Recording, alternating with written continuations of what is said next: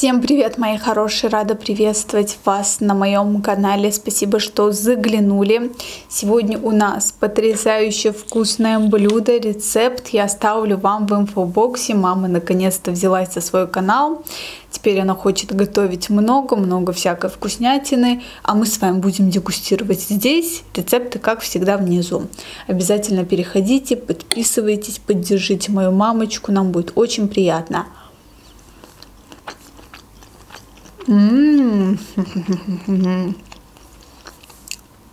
Здесь баклажаны, кабачок, вот такие вот фрикадельки.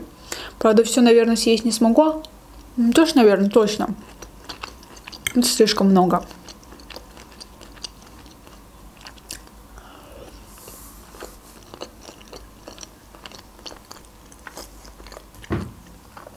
О чем я сегодня хочу поговорить с вами?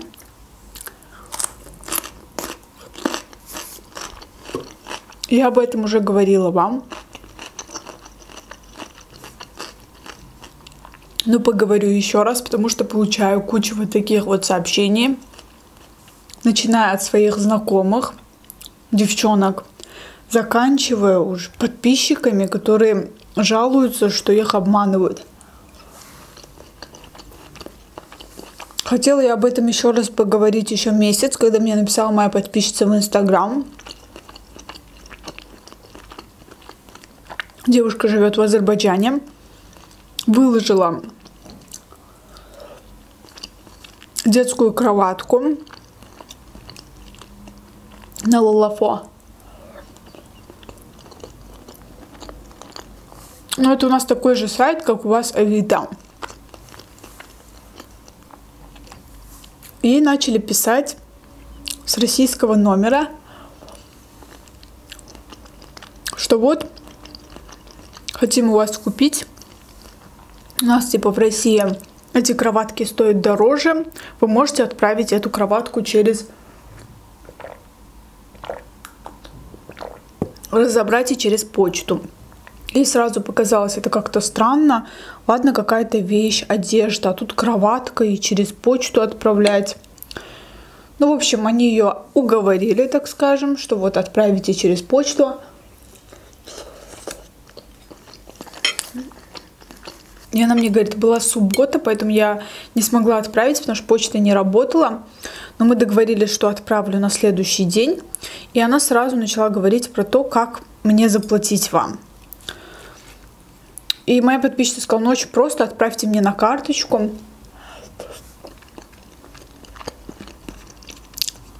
И девушка начала говорить о том, что то есть у нас такой системы нету, типа с карточки на карточку. У нас есть специальный сайт, сайт почты. И этот сайт участвует как посредник.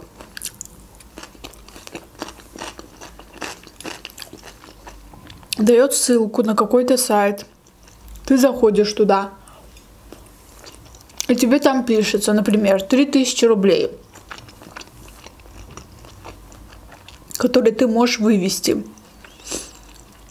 А потом, когда ты выводишь деньги, пишешь пишешь данные своей карты. Этот сайт считывает всю эту информацию, и затем все, что есть у тебя на карточке, просто так уходит кому-то. С моей подписчицей случилось то же самое. Не успела она отправить колыбельку по почте, как решила уже получить свои деньги. Зашла на этот сайт, ввела данные своей карты. И все.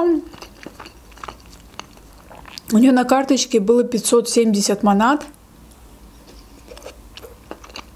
Эти деньги улетучились куда-то. Обращалась потом в банк.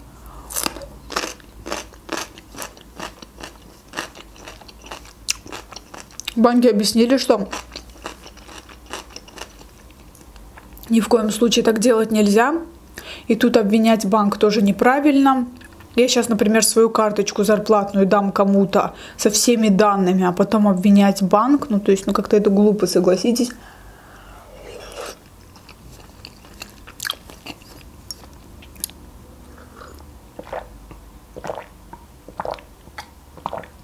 И это именно мы, мошенники, не из Азербайджана, а из каких-то соседних стран СНГ, Наверное, специально выбирают жертву из другой страны, чтобы никто не смог обратиться в полицию.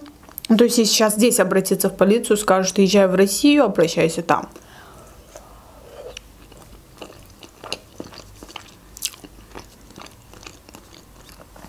В общем, 570 мат мои подписчицы просто улетучились. Вот буквально два дня назад мне писала Зуля. Зуля, тебе огромный привет, если смотришь. Помните, я вам в одном из влогов показывала, как мне моя подписчица отправила косметику от Oriflame. Мы с ней сдружились, время от времени переписываемся. И она вот решила поделиться этой ситуацией.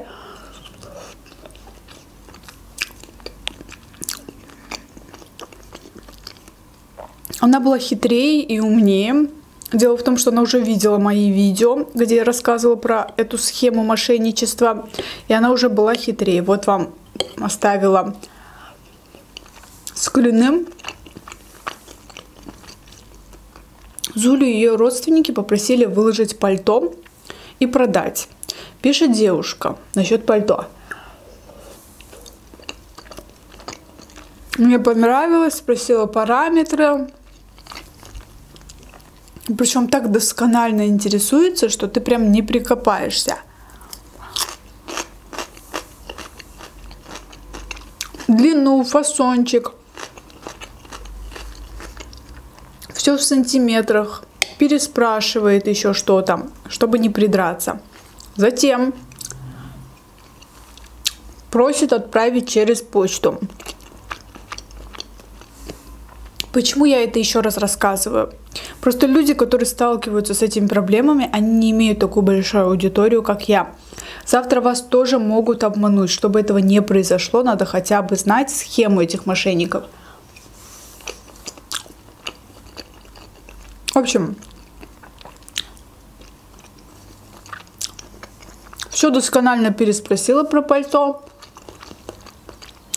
Говорит, я живу в России. Вы мне можете по почте отправить?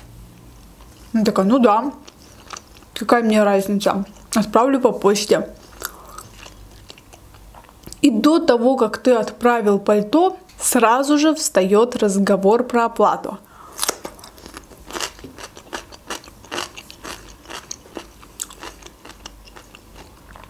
Сразу начинают уточнять. Я уже, говорит, оплатила. В смысле ты оплатила?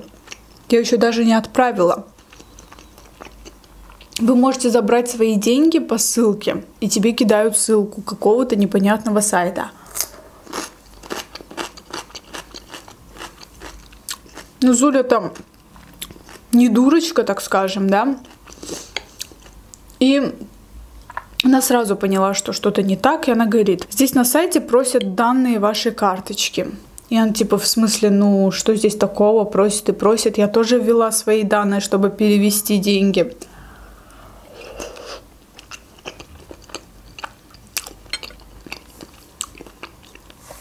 Я не буду писать данные своей карточки. Тут начинается девушка. Я уже заплатил. Если бы это был бы непонятно какой сервис, то я бы сама не стала вводить свои данные карточки. Я вообще-то уже заплатила. Я требую свое пальто. Перед тем, как ты платишь, ты согласуешь это со мной? Нет. И как только человек понимает, что здесь ему уже ничего не светит, то есть их раскусили.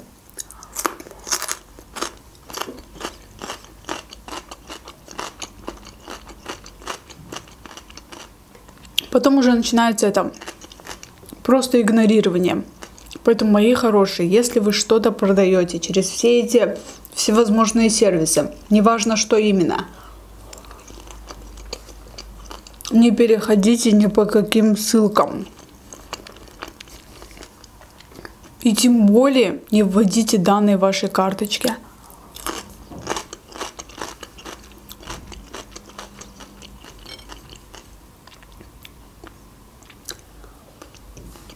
Я желаю, чтобы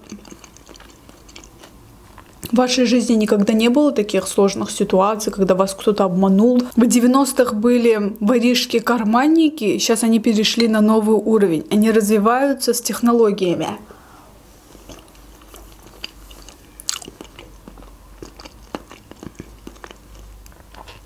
Никому никогда не надо говорить кодовое слово, данные карты. Могут позвонить, представиться кем угодно. Поэтому будьте аккуратны. Я так поняла, что эта схема работает. Потому что столько моих знакомых, которые куда только не выкладывают на продажу товары, Говорят, что постоянно пишут эти мошенники. Значит, они разводят людей. Эта схема работает, поэтому они пробуют на других. Моя цель.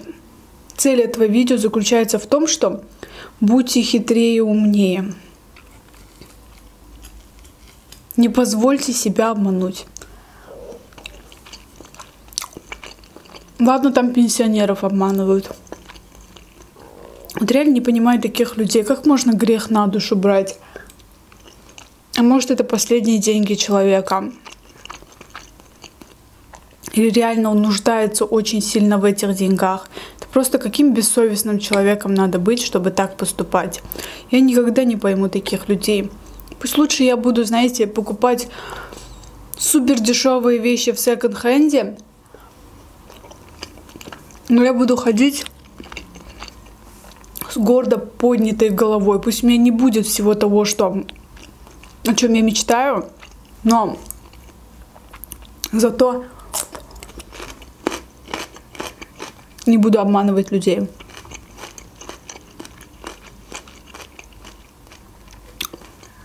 Ужас, конечно.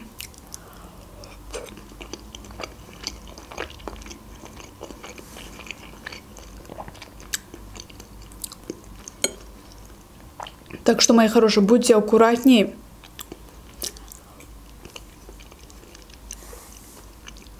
Сейчас столько всяких этих мошенников, непонятных людей.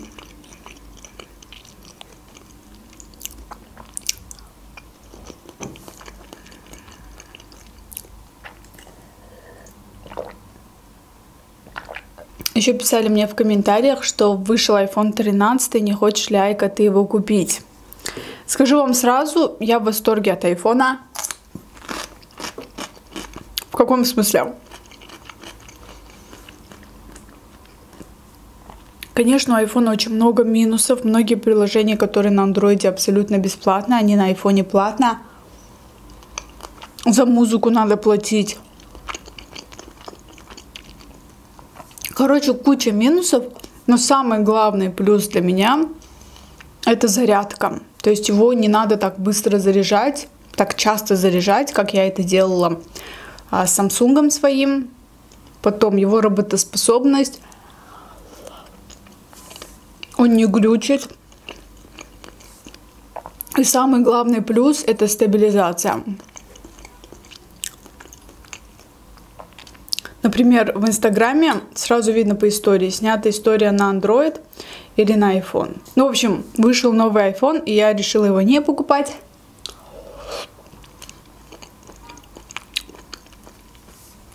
Мне просто он в отличном состоянии, не глючит. Мне нравится, как он фотографирует, мне нравится, как он снимает. Я думаю, наверное, взять следующий iPhone 14. 14 мое любимое число. И вообще не вижу большой надобности в этом телефоне. Этот, наверное, отдам маме. А себе возьму новый телефон. Мама, например, очень довольна своим Samsung. И она как-то привыкла к андроиду.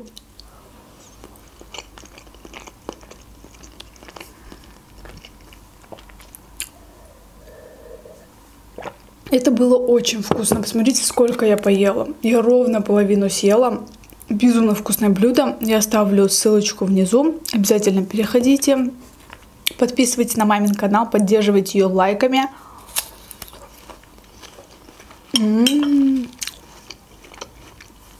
Какая сочная груша.